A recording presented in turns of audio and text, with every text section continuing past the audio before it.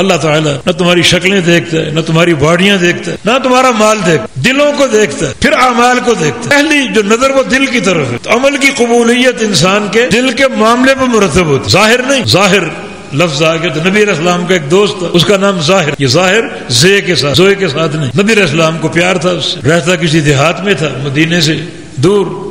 چار پانچ میل کے فیصلے کے پاس یہ آپ کی توازو ہے اس سے ملنے جاتے۔ کبھی وہ مدینے آتا، نبی علیہ السلام کو دیکھتا، ملتا۔ اس قدر محبت تھی تو کا باقاعدہ تبادلہ ہوتا۔ ایک بار اب اس کو ملنے چلے گئے۔ وہ اپنا ایک مال بیچ رہا تھا، کسی سودا کر رہا تھا۔ آپ نے پیچھے سے اس کو حصار میں لے لی جیسے جفی ڈال۔ وہ بڑا ناگواری محسوس کرتا ہے کہ میں مصروف ہوں، سودا ہو رہا اور قیمت طے ہونے والی۔ اور یہ کون مخل ہو گیا؟ ناگواری محسوس کی۔ لیکن جلدی ہی نبی علیہ السلام کے دستے مبارک دیکھ ریشن جیسے ہاتھ۔ ہاتھوں کا لمس محسوس کیا۔ یہ تو اللہ کے رسول ہے نبی علیہ السلام نے ہلکا سا مذاق بھی کیا۔ یہ غلام مجھ سے کون خریدے گا؟ یہ غلام خرید لو مجھ غلام نہیں تھا اس نے کہا، یا رسول اللہ سے مجھے آپ بیچ کر کیا کریں گے؟ میری قیمت کون دے میرا منہ دیکھے ذرا۔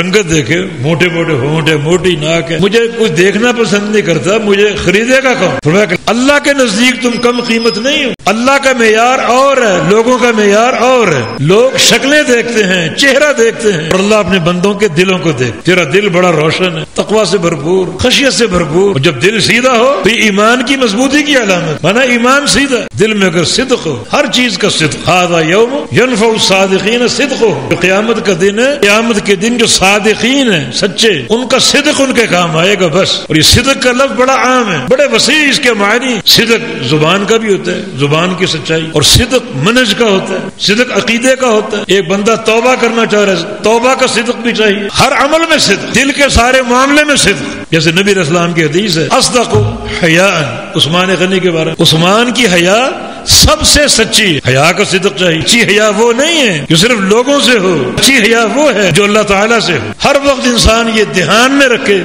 کہ اللہ دیکھ رہے لوگ دیکھ رہے ہیں تو آپ کے اندر لوگوں کی حیا لوگ نہیں دیکھ رہے، اللہ تو دیکھ رہے اور اپنے ایمان کی استقامت اپنے اندر پیدا کرے۔ دل کی استقامت کے ساتھ۔ دل کی استقامت مشروط ہے، زبان کی استقامت۔ زبان کا معاملہ ہر بندہ جان یہ زبان دن میں کتنی گالیاں دیتی اور کتنا جب وہ غصے کا اظہار کرتی نوکر ہو، اولاد ہو، بیوی ہو، تو ہر بندہ اپنی زبان کے معاملے کو جان زبان سیدھی ہوگی، دل سیدھا ہو دل سیدھا ہوگا تو ایمان مضبوط اور سیدھا اور قابل قبول ہو تو ہمیشہ اس ضابطے کو سامنے رکھے اللہ پاک توفیق عطا فرما اللہ ہمارے دلوں کو اپنی خشیت سے بھر اس دل میں گناہ کی سوچ نہ ہے یہ دل جب بھی سوچے، خیر کا سوچے۔ اور اس کی ہر سوچ اللہ کی خشیت پر منتج اور اللہ ہماری زبانوں کو سیدھا کر۔ اقول قولی هذا واستغفر الله لي ولكم. باخر دعوانا ان الحمد لله رب العالمين۔